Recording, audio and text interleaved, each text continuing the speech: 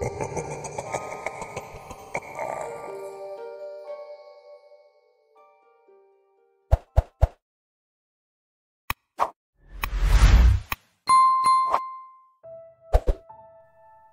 hear the dripping again, the constant drip, drip, drip of water. I blink my eyes open and try to focus to make sure I'm not in another nightmare. It sounds like another leak. This one might be the last. The last time I will hear it before the horrible conclusion to this ordeal. The last time hearing that telltale noise before the true nature of that loathsome portal is revealed and whatever hideous dimension hiding on the other side breaks through completely. The sound is growing louder, each drop has an exaggerated tone. It sounds like small explosions all trying to collapse the ceiling and engulf me in the dark abyss that I have already once been forced to endure. I just can't believe this could really be happening. It just can't. It swallowed people up, the portal behind that damn leak. I don't know what to do. Just a short while ago, my only problem would have been the water damage to my belongings. Indeed, such a mundane problem as a leak in the ceiling would just be a minor issue, nothing to fear except the repair bill. Yet I'm afraid it is a bit beyond that now. I shouldn't have waited this long, I should have just left. Yet where could I have gone? Maybe I should have paid more attention to who I was talking to and what they were saying. All too late now, I suppose.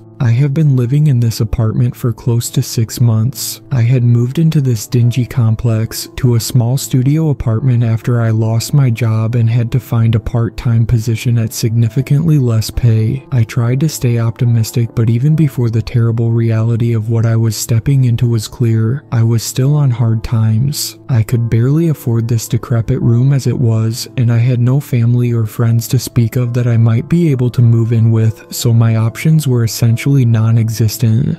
Considering the dire situation, I found the cheapest accommodation I could, and what I found was my home in hell for the last six months, number 316 at the Greenfield Heights apartment complex. The amenities included paper thin walls to hear all the drug deals gone wrong, domestic violence, and constant sirens of emergency vehicles blaring from all sorts of incidents, topped off with a nice turned down service of package and mail theft to boot. All of these problems, though, feel small compared to the true horror of what the place had in store for me. No, it wasn't exactly a paradise, but I had to find the cheapest place I could. I was barely making a fraction of what I was before at my old job, and I needed somewhere to get back on my feet. I told myself it was temporary, and once I could get a better job, I would get out of here. When I had first arrived to look at the place, I had arranged a simple walkthrough with the landlord, Mr. Jacobs, a very unpleasant fellow who always looked perpetually angry and was constantly shouting in the halls and at the few miserable looking staff who worked here. We walked up two flights of stairs, passing a wall of profanity laden graffiti tagged along almost the whole length of it, leading up to where my future home was to be. Mr. Jacobs opened the door and the rattling handle nearly fell off in the effort.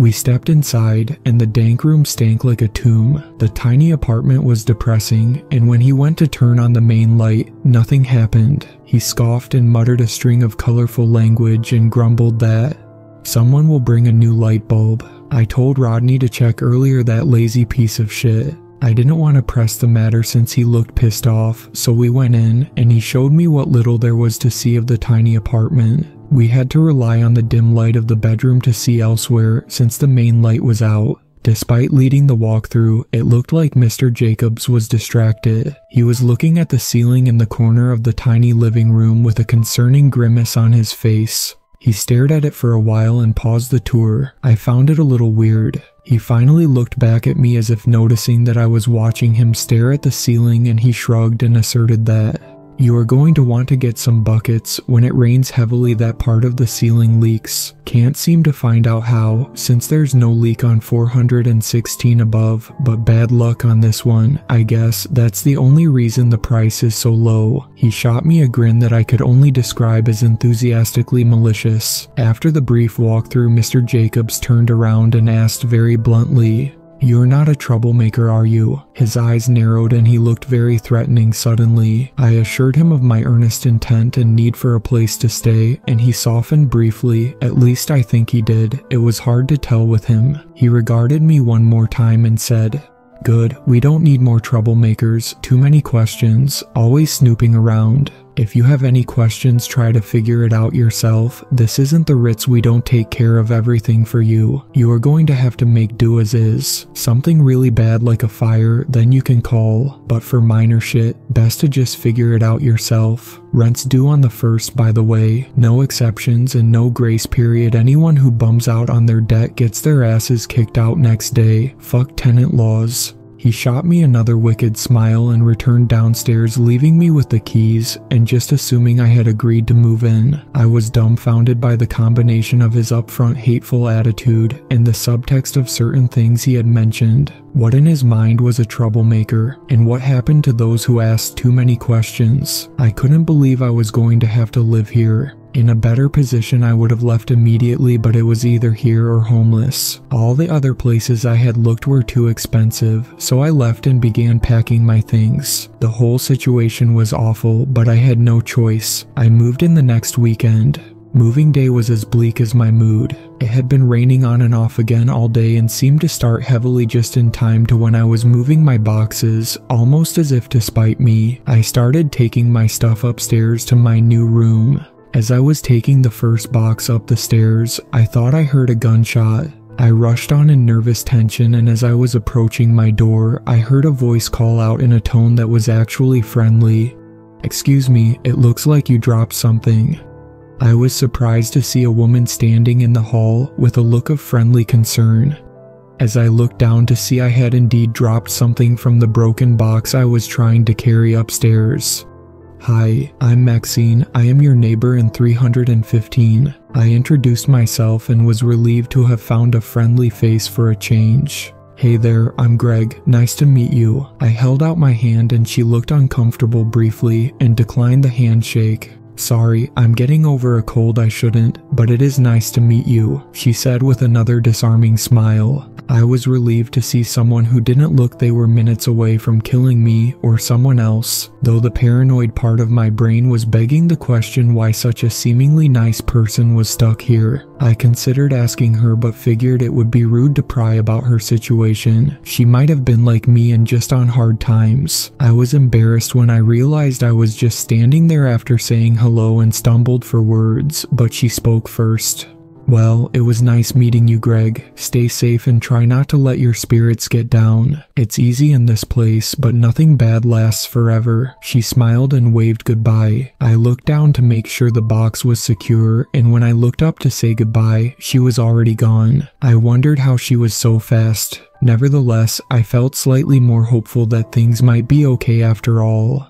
Another hour of moving boxes and my knees were on fire, but the meager possessions I had were finally stuffed haphazardly into the tiny apartment. I was dead tired, but it was only 4 p.m. I figured I had earned a nap though and went into the tiny closet that was supposedly a bedroom. No furniture fit besides my old mattress that took up the entirety of the space. I laid down and started drifting off. The peaceful sound of rain started to get heavier, and then I heard a new sound which woke me from my doze a tiny dripping sound coming from the main room. I remembered what Mr. Jacobs had said about heavy rain and a leak, and I got up quickly to make sure the water was not landing on all my boxes and getting everything wet.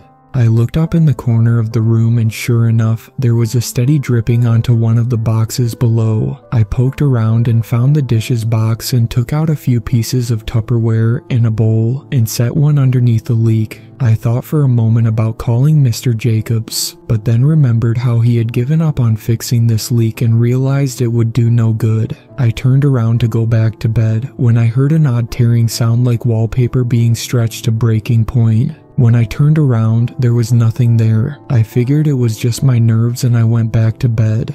I slept for about two hours, and despite the brief rest, I had a vivid nightmare of drowning in a dark lake with no shores on any side. It was horrible, just sinking into a black watery abyss. I was embarrassed as I woke up with a scream, but relaxed as I realized it was just a dream and no one likely heard or cared that someone in 316 was screaming anyway. I figured the rain and that damn leak had got me thinking about water and my negative mood may have contributed to a nightmare, so I brushed it off and went about trying to organize the chaos of boxes in some logical manner for this small space. Later that night, I had a cup of ramen for dinner and turned in early. I read a bit before bed, almost as if trying to postpone sleep for fear of sinking into that fathomless abyss again when I slept. Eventually, I started to get comfortable and thought I may fall asleep when it started again. Drip, drip, drip.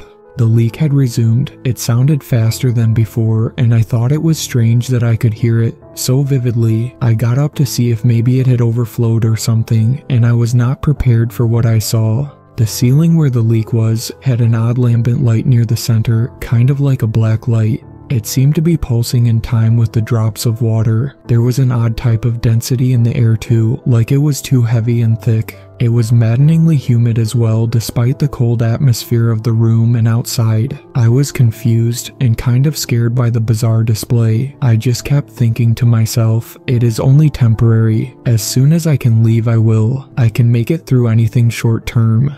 I took a step further into the living room and noticed a wet spot on the floor. There is no way it could be all the way over here. The bowl on the floor was not even full yet. I suspected a leak might also be over in this spot now, so I looked up and screamed out loud. There was what looked like a face pressing through the ceiling with drops of water seeping from the thing's mouth. I turned to run and tripped on the wet floor and toppled over, bashing my head into a wall and almost losing consciousness. I was trying to stagger to my feet after getting knocked senseless, and the memory of the face reminded me of my peril. I got to my feet and looked up in tense expectation. There was nothing there no leak, no face, no glowing shifting portal. The only evidence of anything was a small wet spot on the ceiling about 9 inches across. At that point, I thought for sure that depression over my situation was causing me to go crazy and see things. I desperately wished I could be somewhere else just then but it was late at night and I needed sleep.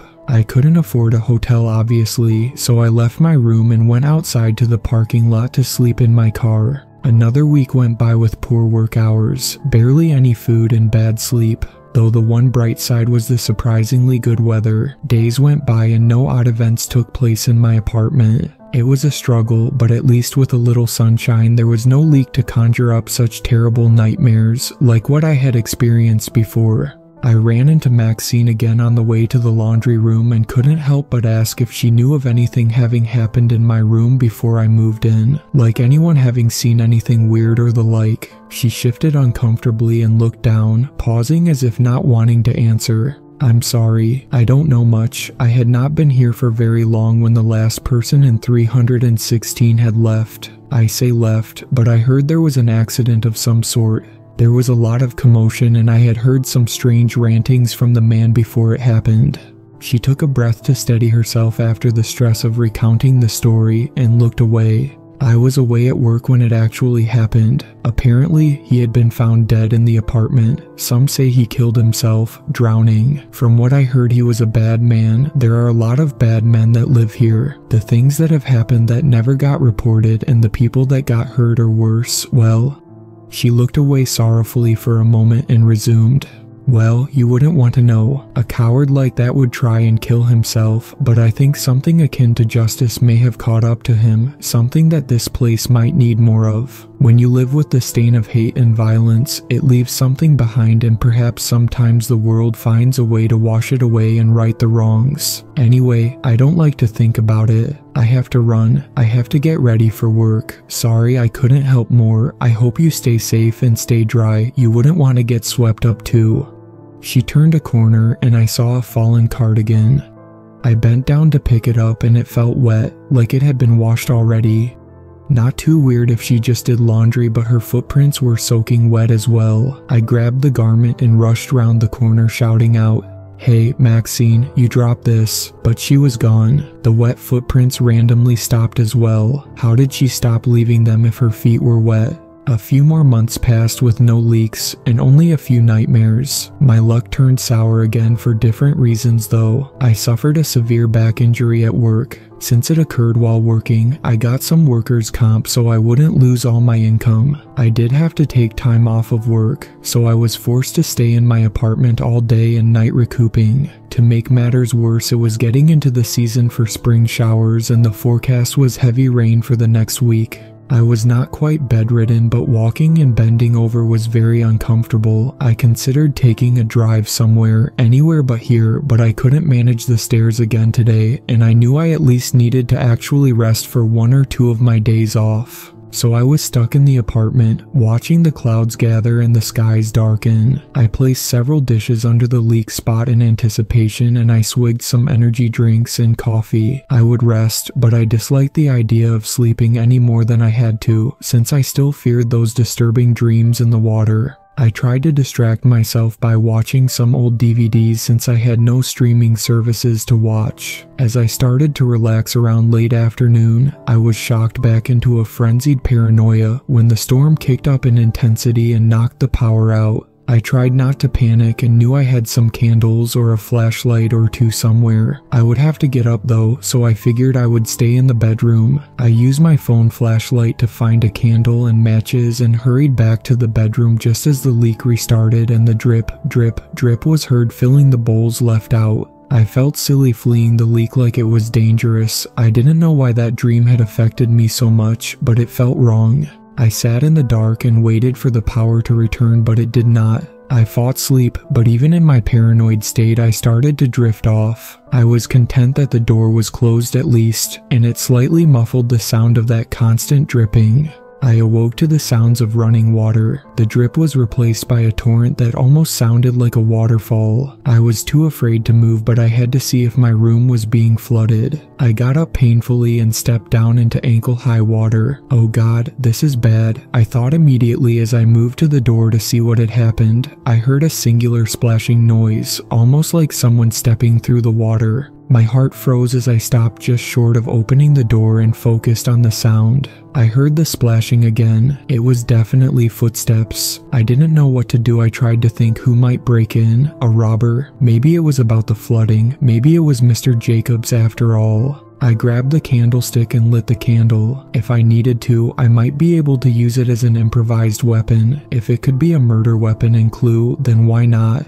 I cautiously opened the door and there was a backwash of even more water on the other side. It almost knocked me off my feet. I stumbled through the door, struggling in the cold water. I knew it was impossible, but it felt like there was a current running through it, like I was standing in the mouth of a river. I finally stepped past the door and into the living room, and almost dropped the candle into the oddly surging waters. The sight before me was both amazing and terrifying. The water was moving, it was flowing into a whirlpool that was at the center of the room, but as it neared the center, it inverted and seemed to be spiraling out from the ceiling rather than the pooled water on the floor in a sight that blatantly disregarded all laws of gravity. The spectacle was so amazing I almost forgot the footsteps I had heard, and until they resumed, my gawking was broken and I saw large bursts of water splashing toward me. I heard an ear splitting cry like the wail of a banshee, and suddenly the ceiling where the leak was coming from and the current epicenter of the vortex started to glow, and after a moment it turned deep red, and a new horror occurred.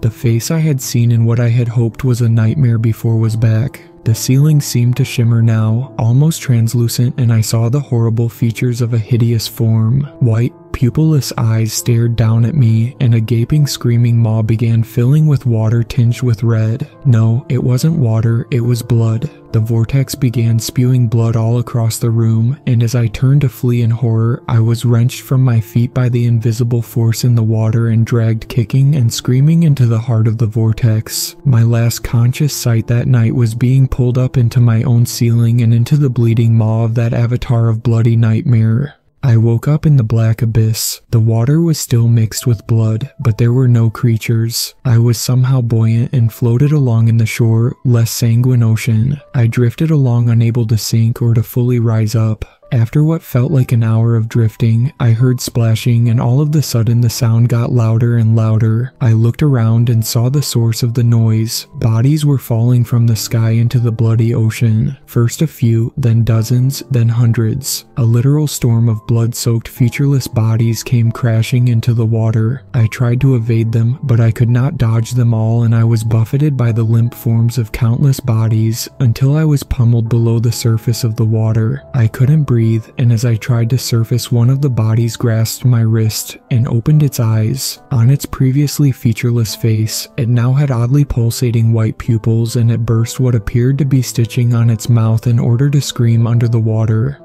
The sight and shock of that horrible scene woke me, and I realized I was laying on my back in my apartment again. The flood water was lapping at my face, and I was breathing in and choking on the water on the floor. I lurched up as soon as I regained control of my body, spitting water and gagging from the quasi drowning I had endured. The water looked normal, no blood from what I saw, but the water itself was not a delusion or some trace of insanity, it was there. It was a bad scene, tons of my things were submerged, and the water damage was extensive. Somehow it had risen to almost two feet high. I had to do something. I didn't expect much from this place, but this was a severe enough situation that the crotchety old bastard Mr. Jacobs was going to have to fix something whether he liked it or not, or they would be getting a lawsuit in short order. I figured some lawyers would take easy cases they knew they would win with no retainer needed if they got paid more at the end. So it would not be a bluff, I was dead serious. I almost drowned in my own apartment. I staggered to the door and managed to open it, draining tons of water out into the hall, but I didn't care, I just needed some fresh air. My back was on fire, but nothing would stop me. I heard a voice calling out to me, it was Maxine. Hey, are you okay? I saw all the water and hadn't seen you around. Is there flooding there? She asked with an odd look, almost like she knew the answer but didn't want to let on. Yes, there is. It is pretty bad actually. I was just about to call Mr. Jacobs to do something about it. Greg, she paused for a moment then continued. You didn't see anything in there, did you? In the water, like something or someone familiar. I was confused by the specific nature of the question. I was put off and unsure how she knew I might have seen something. I am not sure what I saw. Why do you ask? I responded. No reason, just be careful, it can be dangerous if you do. Don't worry if it is not where you belong, you won't get pulled in forever. Just be careful though, you don't want to risk it. A flash of morbid glee was evident on her face for a split second and then it was gone. I was starting to feel uncomfortable.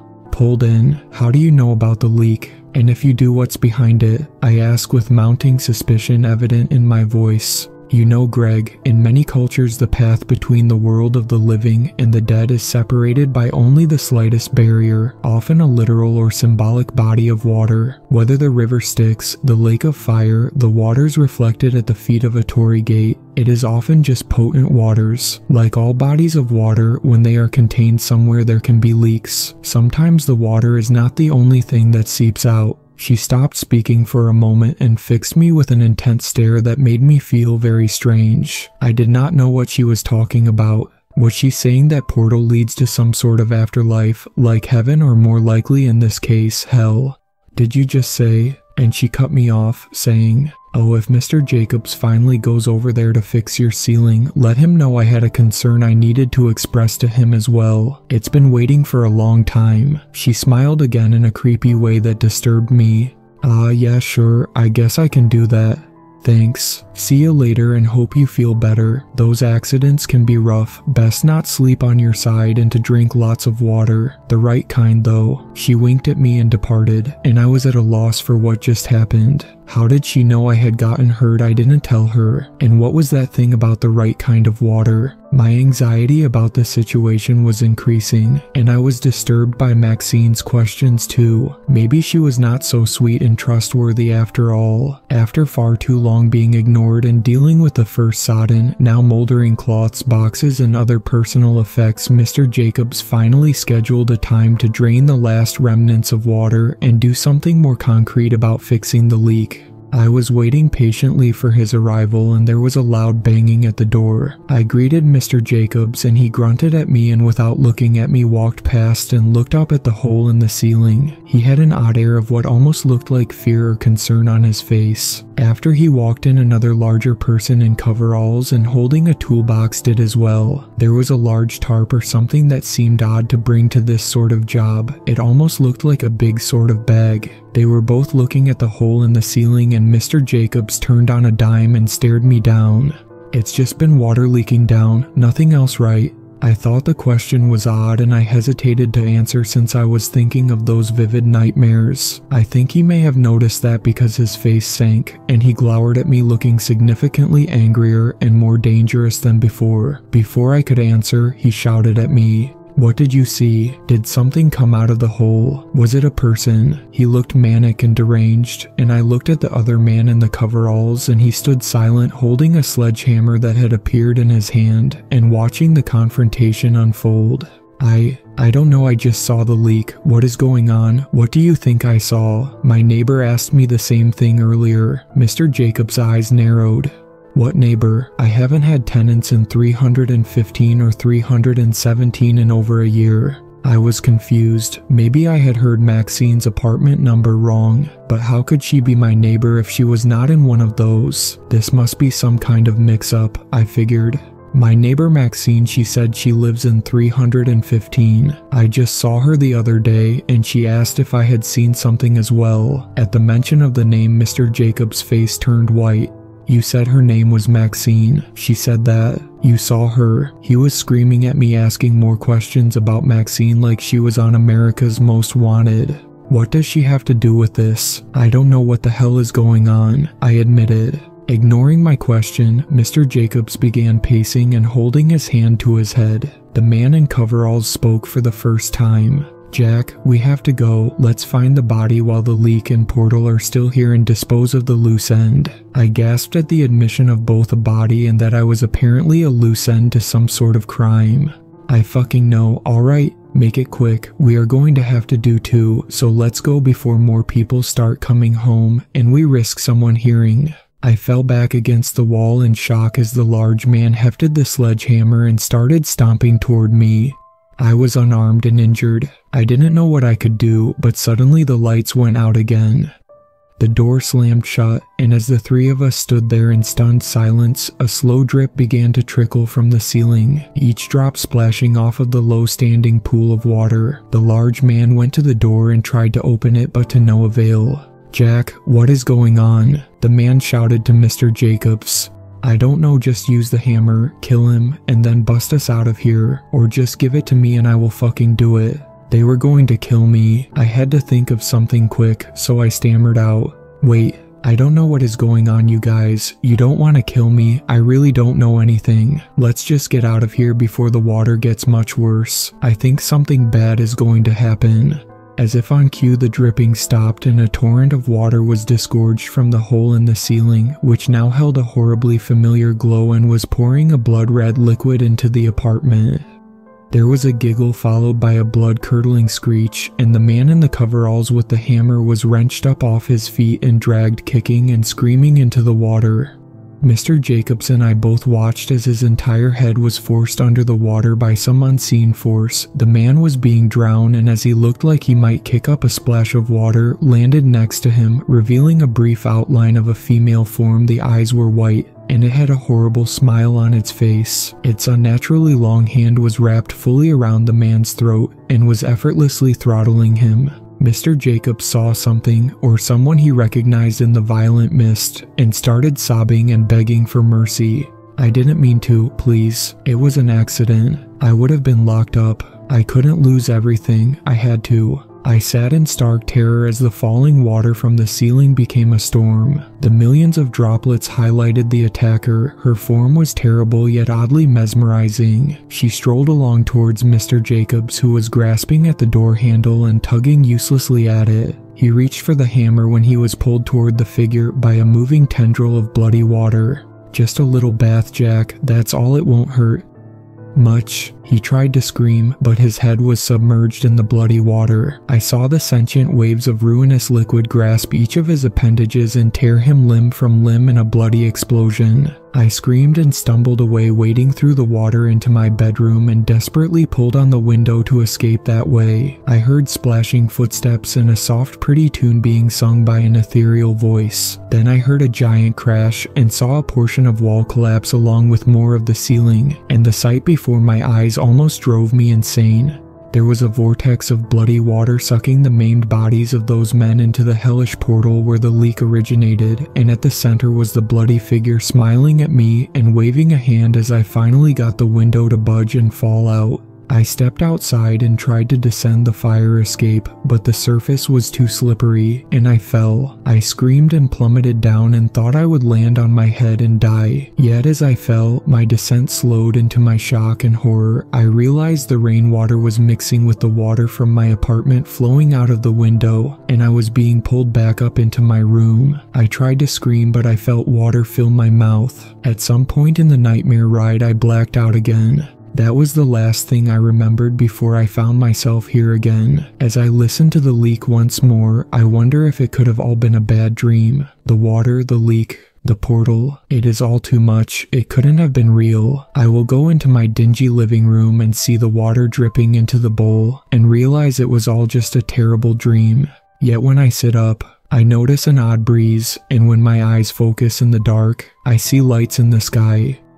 The sky the ceiling is gone. I don't know what is going on here, but I know I have to get out of here now. I hear splashing footsteps again over the ever present dripping, and see in the sky now the light of the monstrous portal opening in the very clouds above. It is too much I leap from the fire escape again. Somehow in my mad haste, I survive descending the fire escape and I sit here now writing this impossible story in my car that I have been living in nearly a week after the fact. I heard on the news the reports of a structural collapse at my apartment and the landlord being unavailable for questioning, presumed missing along with another man who worked at the apartment as a special contractor. I thought about Mr. Jacobs and the man in the coveralls and shuddered when I remembered them being drawn into that unholy portal in the ceiling.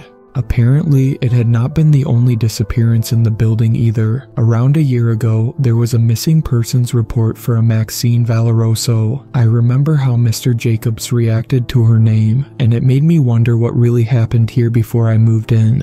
I don't know who or what Maxine was. Maybe she was the same person in the report, changed somehow. Best I can guess, Mr. Jacobs had known something about her disappearance. Maybe he had killed her and somehow she came back for revenge. She mentioned the water washing away people's violent lives, and I shuddered when I considered her smile when talking about the last person in 316 and the overdue message she had to send to Mr. Jacobs. I didn't know if she was a ghost, a demon, or what. I also don't know the extent of her reach or if she is satisfied with just those men and who knows how many others she had washed away from that room with that dread portal. I suppose it doesn't matter to me anymore. I am never going back there. I gave all my belongings up for lost, and the building was condemned anyway after the landlord disappeared and the ceiling collapsed in several sections of the building. I think there are terrible things they will discover if they ever really investigate the building. Perhaps they will find bodies, perhaps the bodies are all gone, sucked into that watery abyss, that eldritch gate to hell whose opening started with a simple leak.